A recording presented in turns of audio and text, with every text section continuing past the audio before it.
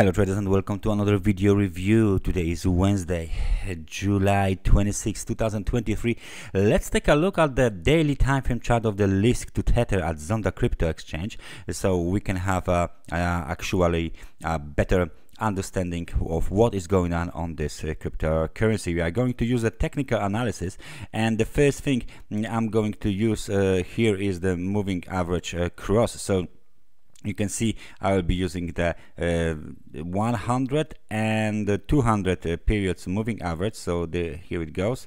100 200 periods moving average and as you can see straight on this market is trading just in between those two moving um, averages. Let me just now point out the major technical and support um, uh, levels. So what do we see here is of course the uh, technical support located at 0.67 this technical support is the key uh, long-term technical support is the lowest level this year um, it was made uh, just at the end of 2022 but we got the repetition and test of this level uh, at the beginning of the June 2023 so that's the technical uh, support. Where is the resistance? Resistance is located around mm, the level of 1.39 1.4 basically.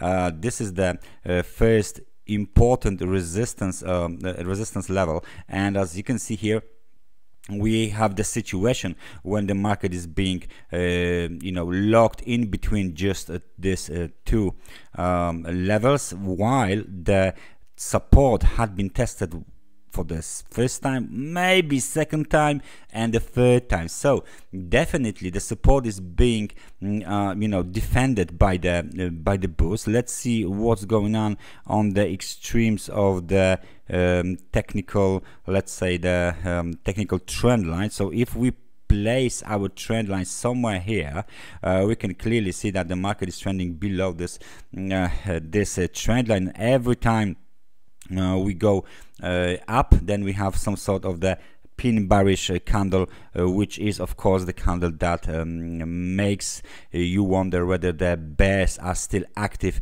uh, in this market and the answer is very very active. So every time we jump higher then there is a bearish response. Every time we jump higher, there's a bearish response. The same situation was here, and it looks like because of this, mm, uh, this recent candles here, we might have the situation when the market is being uh, pressured by the bears. So let me just add one more uh, indicator, relative strength index RSI uh, as you can see here just returned from the almost extremely overbought market um, conditions those conditions were roughly around the level of one.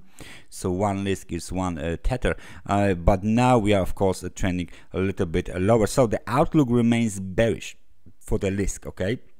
The outlook remains uh, bearish negative. The sentiment on this market is still mm, negative and we should see another attempt mm, of, uh, of the test of the level of 0.67 0.68 if the bears will break below this level then we will have most likely fresh yearly low and then extension of the long-term downtrend to the lower levels. Most likely the next target will be 0.6 and 0.5 that's everything from me for today. Thank you very much for watching this analysis and I hope I see you guys next time. So take care and bye bye.